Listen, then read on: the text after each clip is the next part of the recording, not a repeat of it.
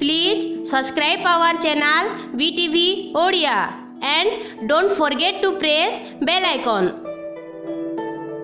ଓଡ଼ିଶାର ସୁବର୍ଣ୍ଣପୁର ଜିଲ୍ଲା କୋର୍ଟ ସମଲେଇଠାରେ ଥିବା ଶ୍ରୀଜୀଉଙ୍କ ଆଉ ଏକ ପ୍ରସିଦ୍ଧ ତୀର୍ଥସ୍ଥାନ ପାତାଳି ଶ୍ରୀକ୍ଷେତ୍ରରେ ଆଜି ଦେବସ୍ନାନ ପୂର୍ଣ୍ଣିମା ନୀତିକାନ୍ତି ସରିଛି ମହାପ୍ରଭୁଙ୍କୁ ଏକଶହ ଆଠ ଗରା ଶୁଭାଶିଷ ଜଳରେ ସ୍ନାନ କରାଯାଇଛି ଘଣ୍ଟଶଙ୍କ ହୁଳୁହୁଳି ନାଦରେ କମ୍ପି ଉଠୁଥିଲା ପାତାଳି ଶ୍ରୀକ୍ଷେତ୍ର ଫୁଲମାଳ ତୁଳସୀ ଆଦିରେ ମହାପ୍ରଭୁଙ୍କୁ ସୁସଜ୍ଜିତ କରାଯାଇଛି କରୋନା କଟକଣା ଯୋଗୁଁ ବିନା ଭକ୍ତରେ ଦେବସ୍ନାନ ପୂର୍ଣ୍ଣିମା ନୀତିକାନ୍ତି କରାଯାଇଛି ସୀମିତ ପୂଜକଙ୍କ ମଧ୍ୟରେ ସମସ୍ତ ନୀତିକାନ୍ତି ସରିଛି ମହାପ୍ରଭୁ ଗଜବେଶରେ ଦର୍ଶନ ଦେଇଛନ୍ତି